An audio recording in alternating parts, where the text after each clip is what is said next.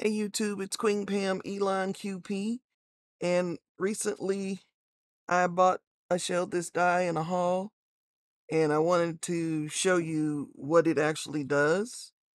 It really does produce paper brads, which would work well if you're trying to put them under something or in a book that where you don't want bulk. And it was, they were really simple, uh, simple to make let me get my glue open and I'll show you how quick it is to make one. Let's make sure the glue is flowing. Yep, it's flowing. And do I have a big one? Yeah, here's a medium sized one cut.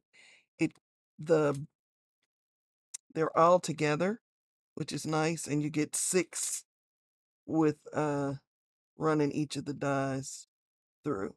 So what you do first get that out the way so you can see what I'm actually doing is I like to put my finger let me see if if I can switch to my other camera. So what I do is put my finger right up next to the round part and bend.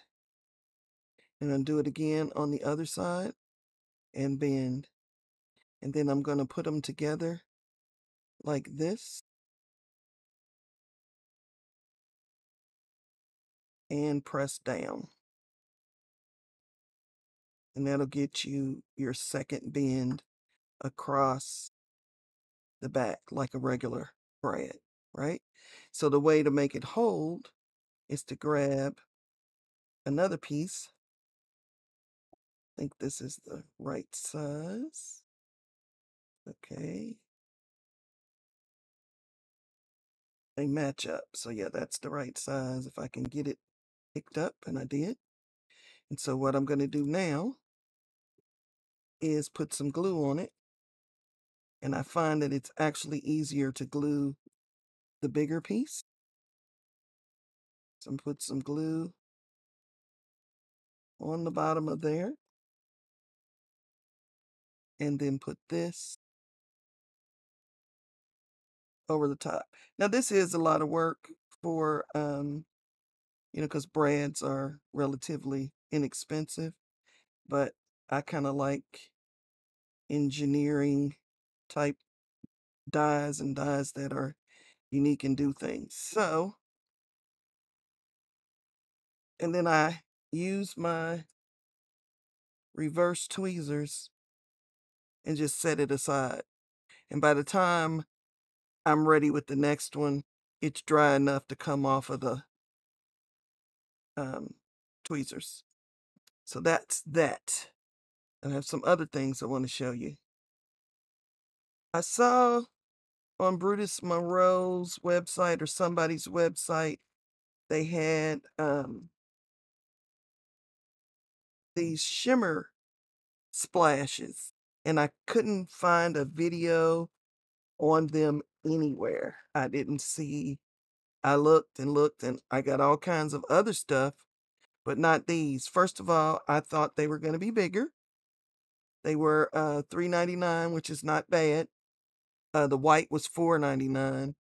Uh, there was a package deal on these four, so I got them Christmas colors because I like to shimmer.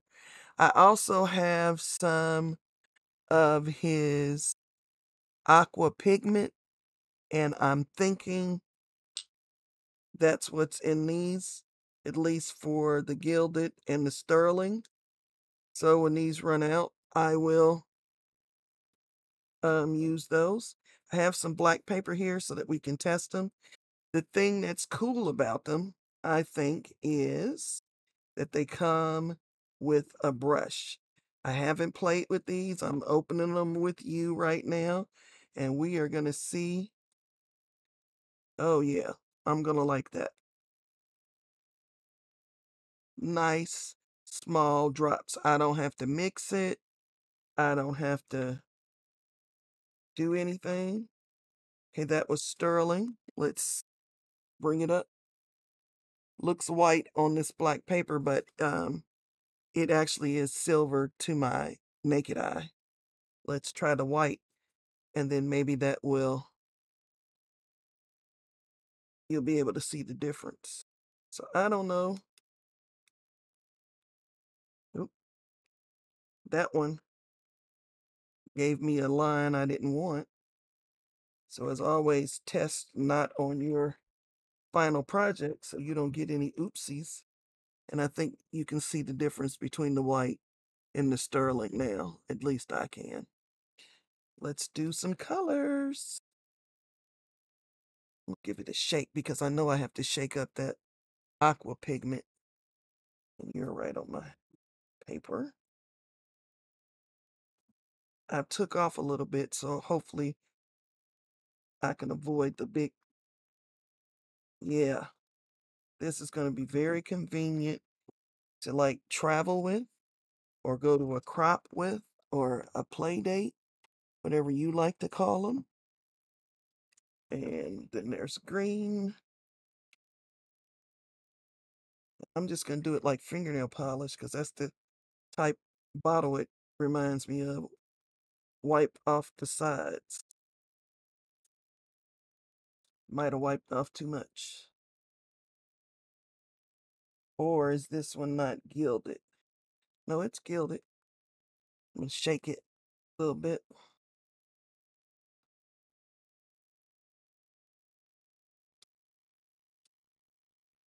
See some green now.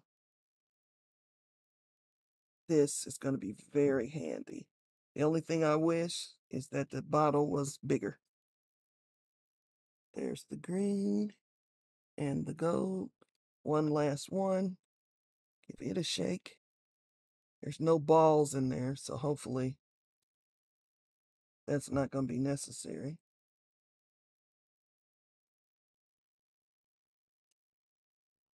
The red. Don't have to liquid it, you know, add what liquid it. Don't have to add any water to make it more liquid. It's ready to go. And there was one col color that I didn't buy. It was a pink.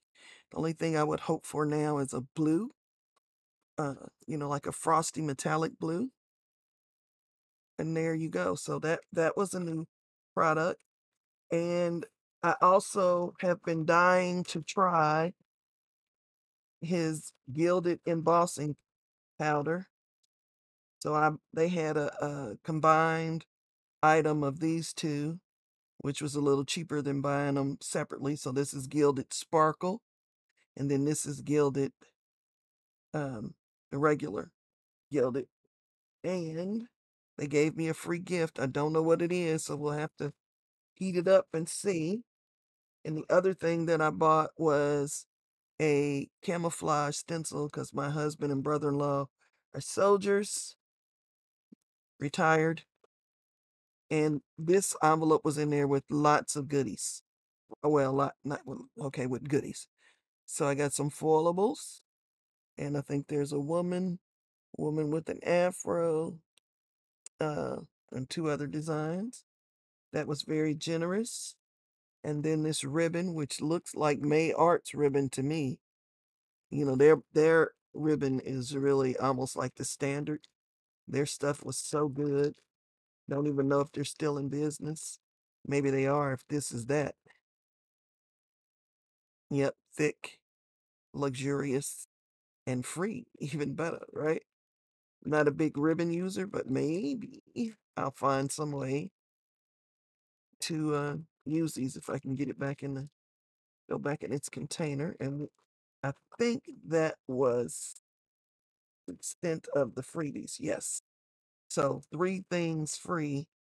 Let's heat this up and then I'll be back. I don't think you need to watch me heat it. I think I can just heat it and then come back. All right.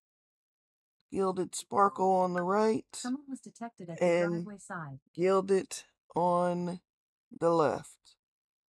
In real, there you go. You can see the difference. There's the sparkle in the sparkle.